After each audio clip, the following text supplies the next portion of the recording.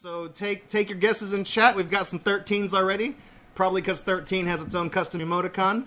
Uh, you don't win anything for guessing, but it, it's it's fun to play.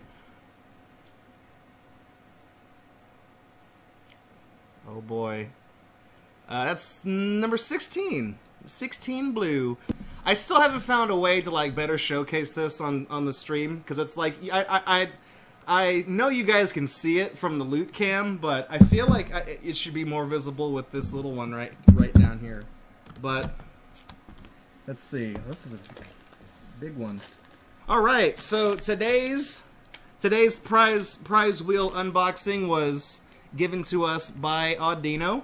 Uh, she actually tweeted me, not tweeted me, she sent me a text message uh, right before the stream saying that she was going to be a little late. So she's going to miss the unbox of the, this thing that she gave me.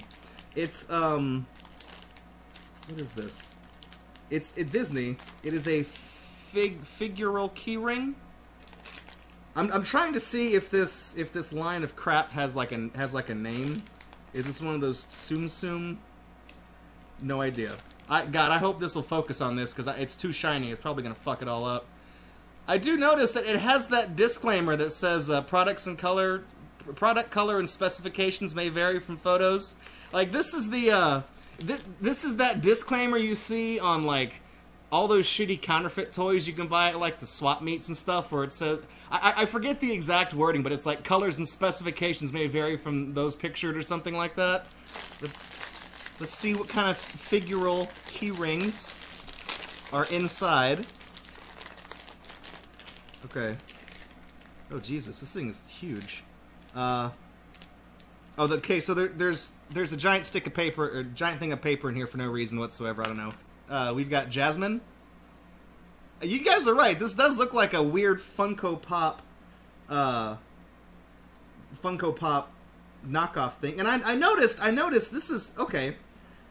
The key ring has a barcode on it, so, uh, they they just this this whoever monogram, which whatever whatever fucking company made this, they took clearly a bunch of I guess new old stock of key rings that they would you know they could just put up on the shelf or put on a little hanger at a store, and they threw them in a bunch of a bunch of fucking blind bags to uh and probably mark the price up by a couple bucks. Um, so it's it's a piece it's a piece of merchandise that they just didn't even care to, to take the original tag off of before they just fucking threw it in there and sealed it up and sent it to the store and now it's now now I have it. I feel like I could I feel like I can I can bend her but I don't really want to because I don't know if it's to like snap her head off if that makes any sense. Because it feels kind of it's it's really solid, but you can see she has like a little like a little crevice all up right here and I feel like if I bend it too far it's just going to destroy it so I kind of don't want to do that. Thank you Audino Trust Super Jail for uh for the for the Jasmine keychain. I'll be sure to put this thing is fucking huge. Like okay, let me go get my keys just just, just for comparison. Here's all my keys. Here is Jasmine. She's like the size of my pile of keys if you don't account for the fucking key fob for my truck.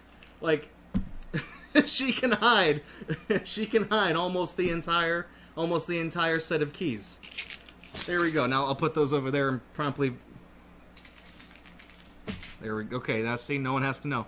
Anyways, this was from again. This was from Audino. This was from Trust Super Jail. So thank you. Uh, if you catch this on the repeat on YouTube, I appreciate it, and I'll uh, just set that right, put that right there.